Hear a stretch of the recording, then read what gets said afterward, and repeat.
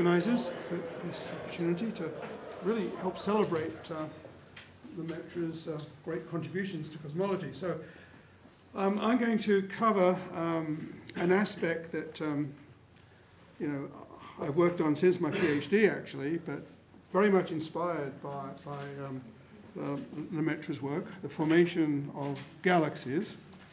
Um, so let me begin with a really beautiful quote, which um,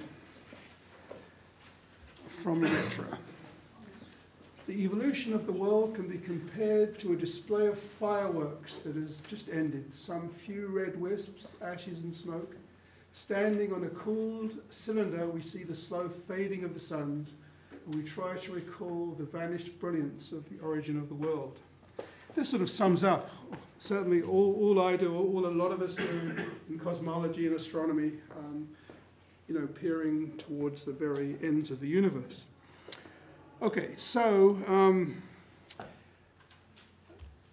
this is uh, an inspiring sketch from um, Lemaitre's notebooks, um, in which you can see um, he sort of encapsulates all the possibilities for um, um, uh, the Big Bang. Um, very, very much um, a prediction. Um, this is the um, slightly um, updated version in which uh, one simply highlighted um, uh, the, the, the, current view of the universe that is essentially beginning to accelerate and expanding forever. so Lemaitre certainly was one, one of the problems he went on to uh, after presenting the expanding models was the question of gravitational instability and the um, origin of structure. Um, and this is an article he wrote somewhat later. Um, and that, that's the topic I wanted to talk about now, just um, the origin of structure, the formation of the galaxies. So what, what, is, um, what is the progress that we've made with this um, problem that fascinated Lemaitre? And he really set down the, the basic idea for, for addressing this.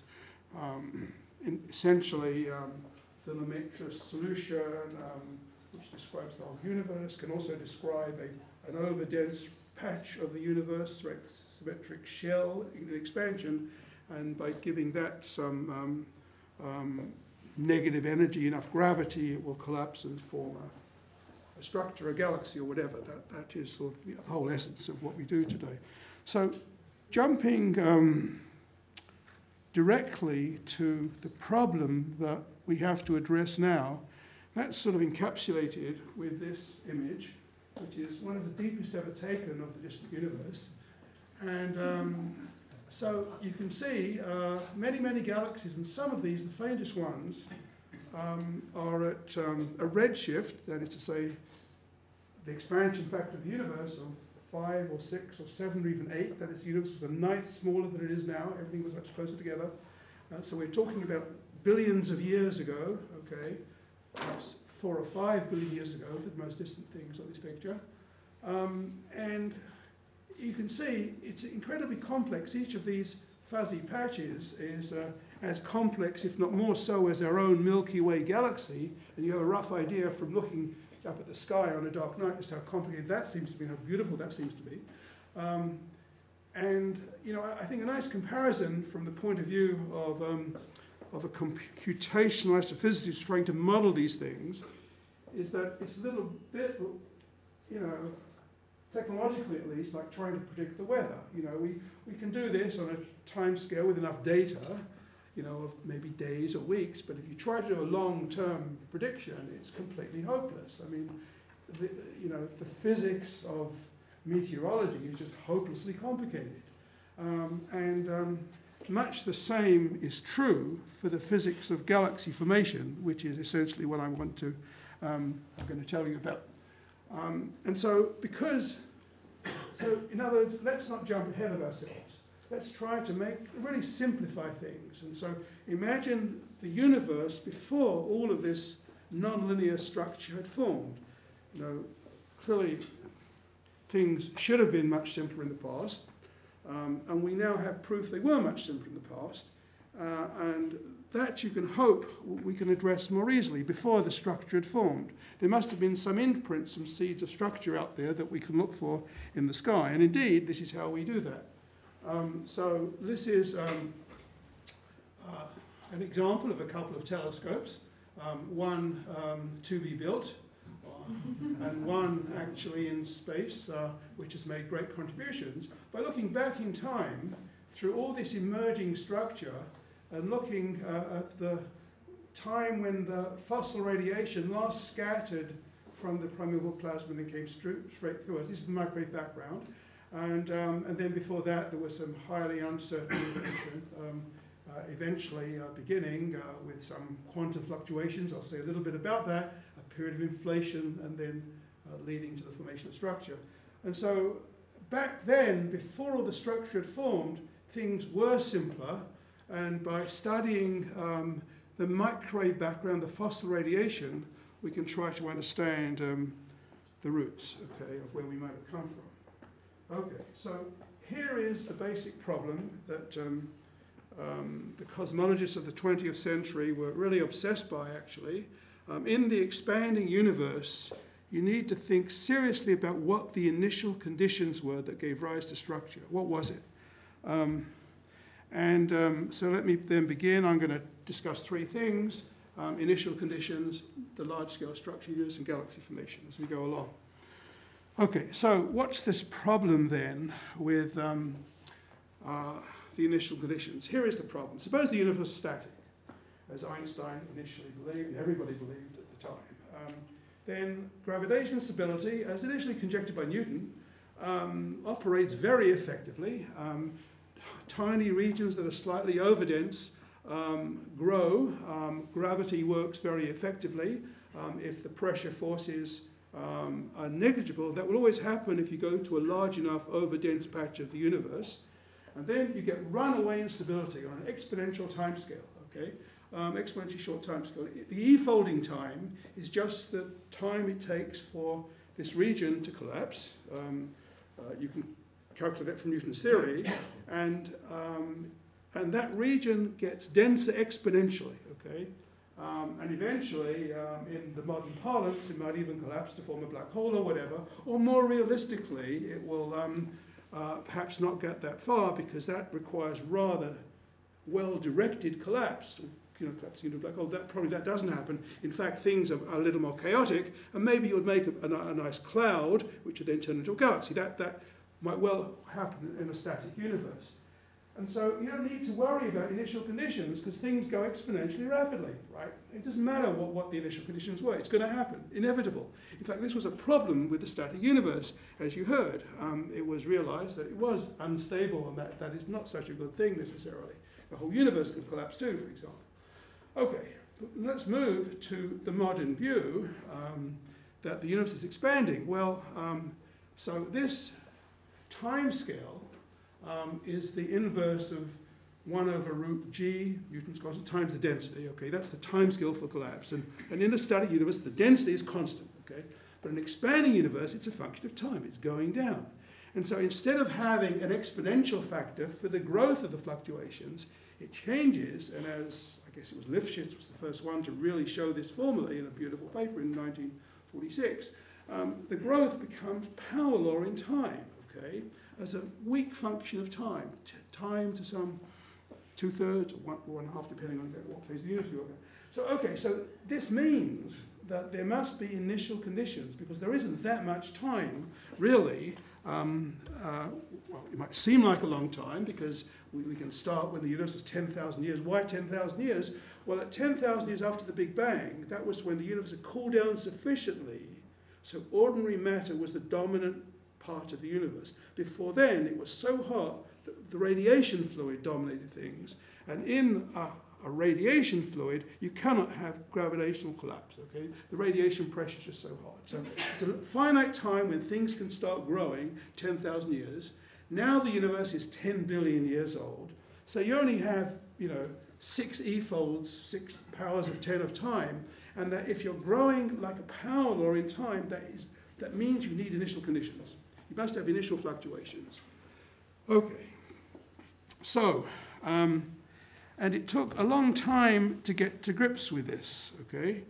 Um, and it was only in the 1980s that we finally had the solution to this problem. And that came from the theory of inflation. So again, let me um, give you a very simplified overview of what inflation does and where it came from. So the idea was, as one went from um, some very high energy, where um, the th quantum gravity theory really is still an unknown theory, but as things cooled down, the fundamental forces separated, first gravity decoupled, and then eventually the strong nuclear and the electromagnetic weak nuclear forces decoupled as the temperature went down. Finally, we end up in the universe that, that we know, where all the forces are very different, very different scales. We, are, our, we in this room are dominated by the electromagnetic force in, in, in our interactions with each other, our bodies.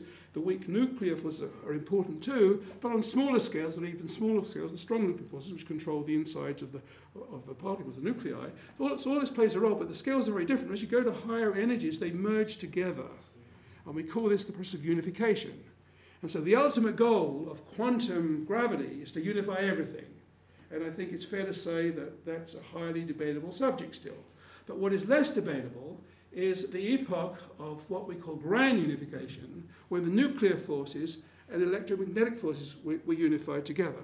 And so we, you know, we can probe this scale with a Large Hadron Collider. So all of this is experimentally very reasonable, okay? But we have no way of building experiments that can tackle this high energy. So this is the energies up to you know 10 TeV or thereabouts that we can probe with the LHC in Geneva, but we can't get to this energy, um, you know, trillions of GeV or more with any collider that we could possibly afford to build on the Earth. But we have the cosmos, the universe, that went through this phase, and so it's a beautiful experiment that was just done once, unfortunately, but we can study the residue.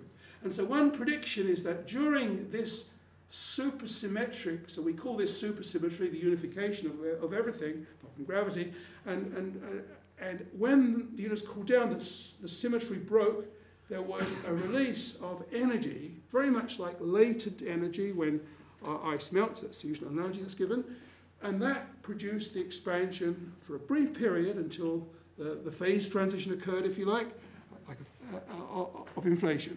Okay, and so now we have this um, um, schematic modeling, just a cartoon to show you what this means. So one can begin with some highly irregular initial conditions, and there's an active debate that goes on as to how irregular or not this might be, whether this is truly a, you know, a set of measure zero or something more significant. But let me avoid all of that for the moment, but just say that if things are highly irregular, and then I have exponential expansion for maybe 60 e-folds, which is desired to get up to the present scale of universe at least, okay, then anything that was highly irregular, it's like a balloon expanding, becomes incredibly flat, okay, locally. And so this essentially is why one of the great predictions of inflation was the universe is space is Euclidean, okay? And a second prediction is that it should be very large, very large indeed, okay? Um, and essentially, all th those things are both verified. Flatness is now verified to very high precision, etc. So this is all very encouraging. Um, but the other wonderful thing, the third thing that inflation can do, is on before inflation, you know, we were in the quantum gravity era, and there were quantum fluctuations everywhere, okay? And these are on incredibly tiny scales. But inflation has the power of essentially imprinting these on much larger scales. And, um, and that gets us now to um, this, this, implications for the initial conditions of structure formation. Uh, inflation really has provided a wonderful hypothesis, I would say, for the moment, that can explain the origin of the fluctuations that seed the large-scale structure.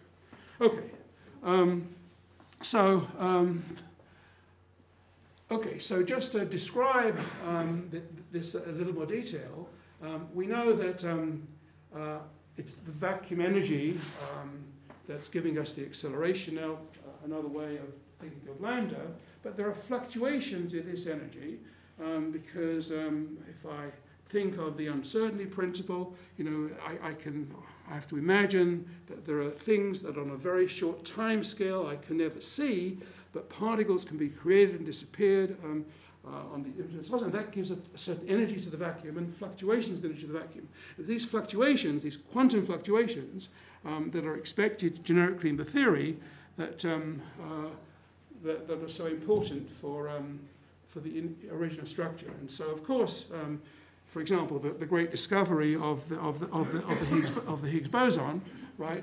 so, you know, um, right, here, here's a picture of one of the events. Um, that these things are happening all the time in the universe, in, in space around us, except on such small timescales that we can't see them. Particles are created and annihilated, but they give you fluctuations um, in the vacuum. So not only do we have the dark energy, the vacuum, that's giving us the recent acceleration, that's very small, but it dominates at late times, um, but also there are fluctuations that were present very early on as well. Okay, and those are the important seeds uh, the structure, and it's inflation that essentially grabs these fluctuations and boosts them to larger scales. So here's a cartoon, again, that tries to explain this.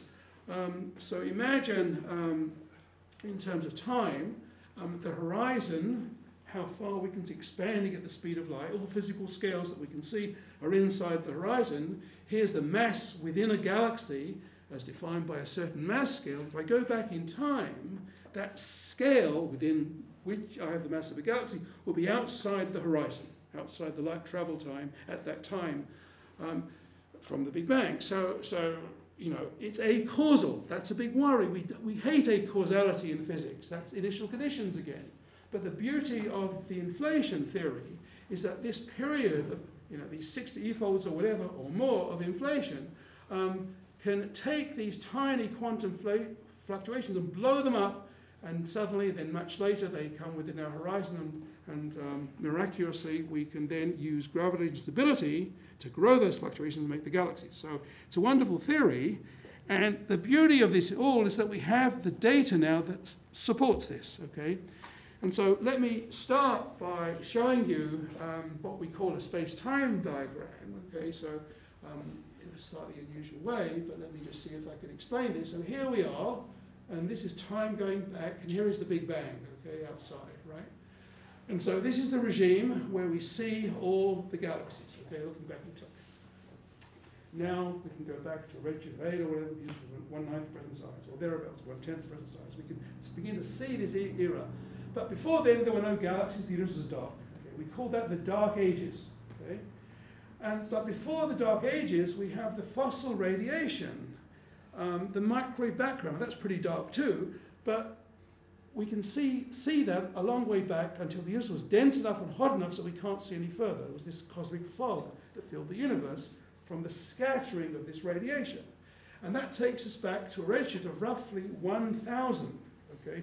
380,000 years after the Big Bang. So here we are, 10 billion. We can go back to, in print, we can see this, okay? So we can see these photons coming from that time. This was the discovery of the cosmic back background, discovered in 1965. And ever since then, we've been searching for the tiny irregularities that must be present in the radiation if they contain the seeds for structure formation. Okay, so those must be imprinted on this radiation. Um, if inflation produced them much earlier, etc. Okay, so indeed, we have measured now, and I'll show you in a second, I'll describe that, these tiny irregularities, okay, thanks to the Planck satellite. So if I were to show you the radiation at 3 degrees Kelvin, this would be totally uniform. But if I now look at the same background radiation with a precision, not of degrees Kelvin, but of micro degrees Kelvin, then I suddenly start seeing these slightly warmer spots and colder spots, okay, and tiny irregularities all over the place. So, um, what is another truly amazing statement is that on this picture, we can see quantum fluctuations, okay? And why is that? Well, let's imagine some region, this is our last scattering surface, and here are two points, okay? And these are the past light cones of these two points. And if these are a about a, deg a degree apart on the sky, and this means there's been time, if they're a degree apart, for light to be within our past light cone, that's this. If I had a point over here, that would be outside our past light cone, okay? So, that, so if I look in two different directions, there hasn't been time for those photons to get to me. Okay? This means they're acausal, and the only theory we have for explaining them is their quantum fluctuations boosted to these large scales by inflation and coming back in the horizon to, to be visible.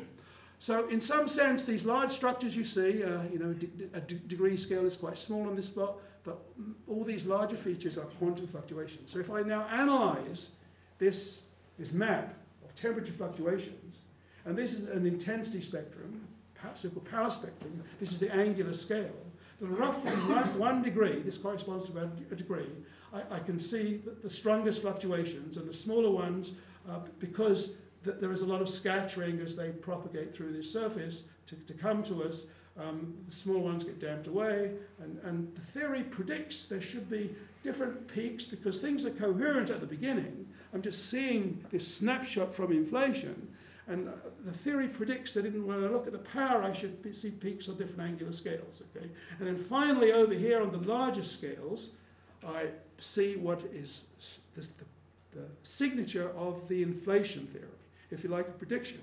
Now, one of the difficulties that we have in testing uh, these fluctuations over here, which are consistent with, with models of the inflation theory, is that this fuzzy area is what we call cosmic variance. What is that? It means that if I look at large scales in the sky that are, say, 20, 30 degrees apart, which is the prime signature of the, of the things you know, boosted by inflation, there are very few independent patches on the sky.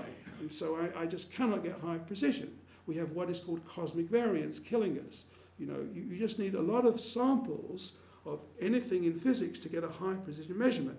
And if I look for the large angular scales, I'm, I'm just losing power there. Okay, anyway, so, but we made enormous progress with, with, with this. Okay, so um, what I'm going to do now is um, show you, um, well, this is just a comment that this acausality over here, we now have independent measurements of the polarization of the radiation, and that gives us a totally independent way of proving that it's acausal, but let me not dwell on that. But what I want to show you now is the second major discovery about these um, fluctuations from the beginning, okay? And so here, here are the sort of uh, irregularities that drive these fluctuations. And the amazing thing is with the new data, we can see this peak of power at about a degree, the, the horizon size effectively when the radiation came from us uh, to us from 1000 when the power peaks, and then things getting, you know, th th these peaks gradually damping away from the scattering as the photons propagate through the loss surface.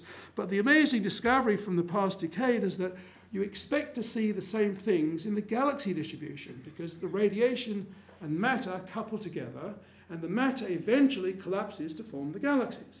And so if you take a large survey of galaxies, you should see the imprint in this survey of this of these oscillations, of this power that you see in the radiation. And the amazing thing is you do. So, so this is, the, again, the power of the galaxy distribution from surveys of millions of galaxies. And if you then blow, blow up these tiny features, you can see you're seeing exactly the same wiggles in the matter that you see in the radiation. This means the matter is coupled together, and it's this imprint that, again, is proof that these are the seeds of these fluctuations. We're seeing it in the two fundamental components of the universe, the radiation and the matter. And, and what you can measure then is the separation of these wiggles, and it turns out to be about 150 megaparsecs, this typical scale, um, which is essentially connected to this, this peak, this horizon scale. And this, now you can measure this, it's as though we have a standard ruler in cosmology, right? Because this is a fundamental prediction okay, uh, of this simple model. And this standard ruler in the sky on this large scale means you can really begin to probe the physics of the parameters of, of what drives cosmology. And we, have used this now to, to figure out, you know, how much dark energy there is, how much matter there is, etc., and all the many things. So it's been critical when combining different types of data to make a solid picture of this. Okay, so that's my um, uh, what I wanted to tell you about the um, the initial conditions, let's move on to the large-scale structure. So again, um, back to inflation. So we, we have these initial conditions at the very beginning, and this, in, this straight line indicates metric fluctuations, fluctuations in the gravity field early on. Just one number fits all, basically, is the simplest in theory inflation prediction. And it turns out that the data shows something that more or less agrees with that. Inflation actually gives you a very slight, predicts that it should exactly be, this is scale. So it, it predicts the small scales maybe should be slightly stronger than the larger ones. And in fact, this is actually seen in, in the newest data. This, it's not, you can't say this is what you can say this is sort of a generic prediction of inflation. It should be fluctuations near the similar scales, but not quite. And this has been seen. It, it's more, it's more, it's a theory of a prediction of many models of inflation rather than one particular one, but it's very, very interesting. It points towards inflation and the initial conditions. Anyway, as these initial conditions long ago, this is 10 minus 36 seconds after the Big Bang, they evolve with time. Because the universe early on is full of radiation, the small ones in the horizon basically nothing happens. Only in the matter domination do things begin to grow. And then, um, and it's the biggest ones that have less time to grow. And so you end up, it's like a filter. You start off with this um, e equality for all initial conditions, and then today you, you find the biggest ones grow less. So you end up with, with um, what we call a, um, a bottom-up picture of formation. The small things have a, have a, have a slight, and, and so this then, this is then is the observational picture, um, so this is the conversion of this to a slightly more realistic spectrum. You can see all sorts of observations, both the microwave background, which is um, uh, these points, all these things from galaxies fit this general coherent picture. So we have this beautiful picture of structure. Okay, so um, let me, um, having set the scene, um, you could tell from the complexity on, on the previous curve that to make galaxies, it's not easy. And so what we do, we use numerical simulations. Okay, that's, that is the modern trend. Um, and let me tell you what one amazing thing that we've learned from the simulations that was not predicted. Uh, maybe this is the only thing we've really learned from the simulations, okay? Um, because um, we don't know how to really make galaxies either long ago or now, and um, that's because the physics of the baryons is very complicated. But The one thing we have learned is this. Before the simulations, this is what we thought a dark halo was. Our galaxy, the Milky Way, all galaxies were predicted to have clouds of dark matter, weakly interacting matter around them to explain the data on the dark matter. This is the simplest model. And the theory of dark matter said there should be a big dark blob around a galaxy. But simulations have told us something totally different. And this is where my uh, uh, computer is going to give me trouble. It hates movies. Let's just see if I can uh, wake this up somehow.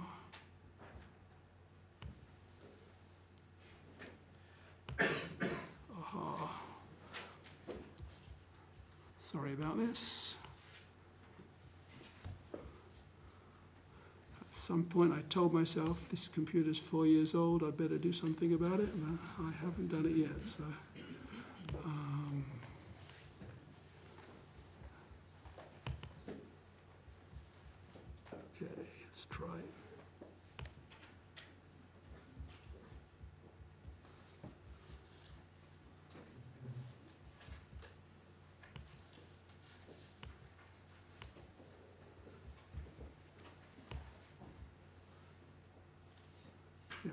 Was going to show you some beautiful simulations, which are a large part of the story here, but let me just see if I can.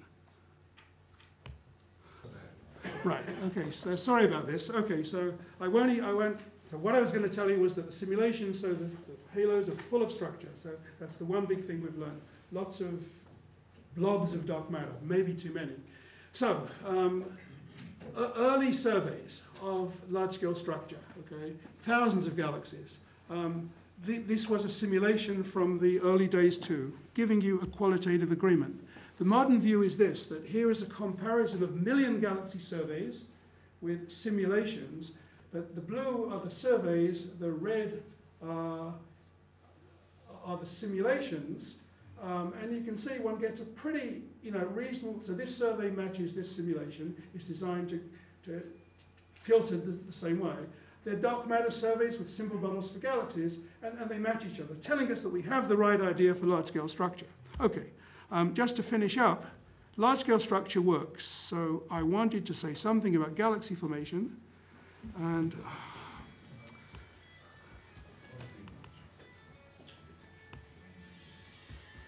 okay.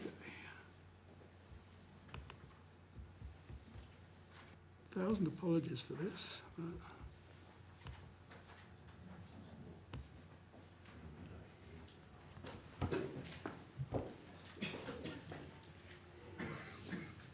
So I made the mistake of being too ambitious, sorry, uh, with the simulation. So, okay, so we have galaxies are highly complicated things. So the one point I want to make is that sometimes, you know, we can't predict the weather, we can't make the details of the galaxy very well, but it's good to take a step back and do things simply. So the one fairly robust thing we can do is account for the following question. Why is a galaxy typically the mass it is? Um, a galaxy of the stars. I've shown you the fluctuations. The baryons, you know, accumulate within this cloud of dark matter. They're able to radiate unlike the dark matter, and they can essentially collapse and make stars. So the one thing that you can do is to go back to basics and say, well, um, I, I have a, a you know, I, I observe a certain distribution by, by, by mass actually of galaxies. Um, that's the red line. Uh, so the, the data is the blue line, okay? And what the, the simple, back of the simple naive theory, which is supported by the simulations, works for the dark matter, that's fine. That's not complicated by the baryonic physics, which you need to make stars, and that predicts the red line. So basically, you, you have more objects at the low mass end and less at the massive end, and, but they only sort of overlap at one point, which is a real problem. So you need to think of physics to sort of explain the difference.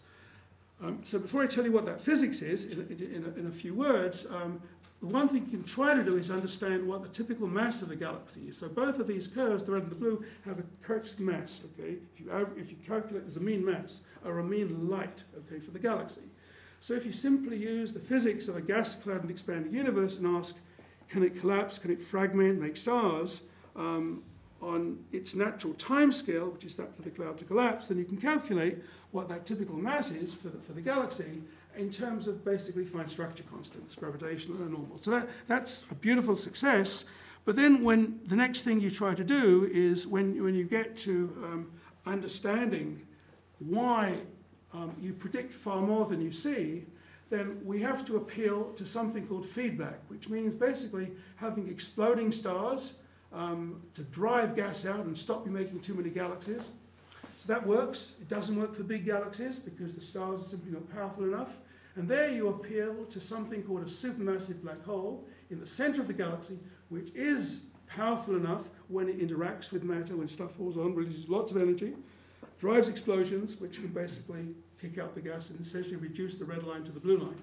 So we, we see evidence for all of these things. That's the nice part of this sort of picture. Um, we see them directly.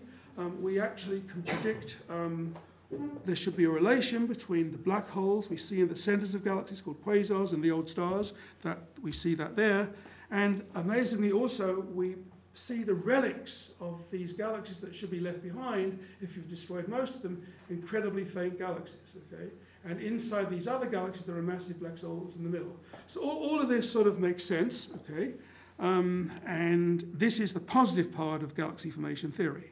Um, the difficulties come, we have these incredibly beautiful um, objects in the sky, and I just showing you this to demonstrate the complexity that, you know, there are galaxies which basically have, this is all stars, huge spheroid of stars. Here's a galaxy with no spheroid of stars at all, and you have galaxies which have undergone explosions of one sort or another and very complex. These are things that we have a very hard time seeing. So let me try to skip the next slide, which is not going to work, I know.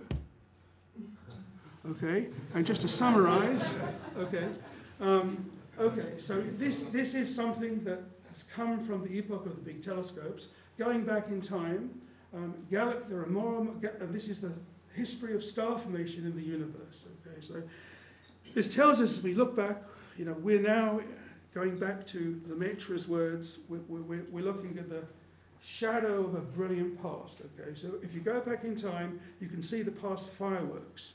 And so this shows you the fireworks as you go back in time. Galaxies are forming stars at a greater and greater rate. Okay, roughly the universe was a third of its present size. And so are the black holes that we see, otherwise known as quasars, um, playing an important role in, in the universe. And then as you go back to further and further. Epochs with probing now with the very biggest telescopes, things gradually become more quiescent. Eventually, you hit the dark ages.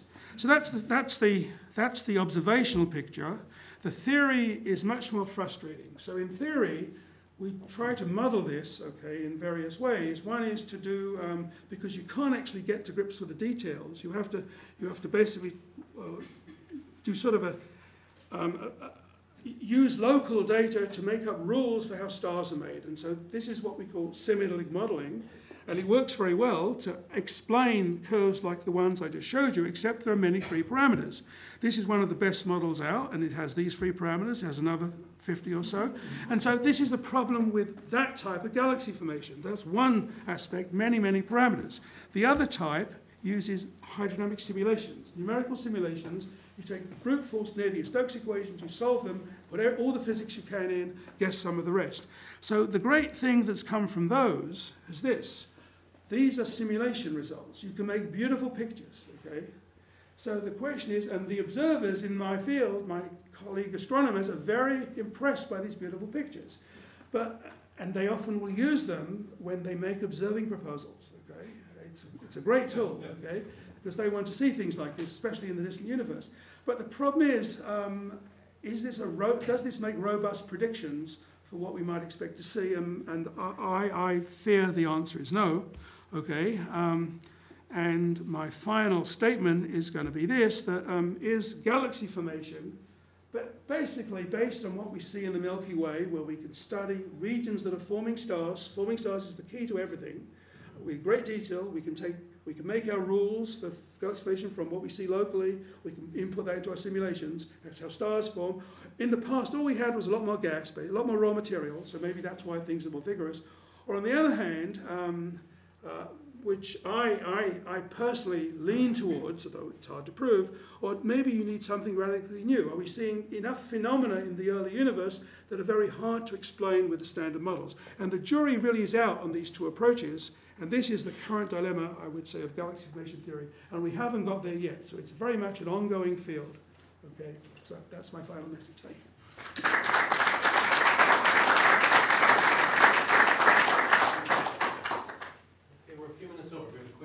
question? No? Okay, sure.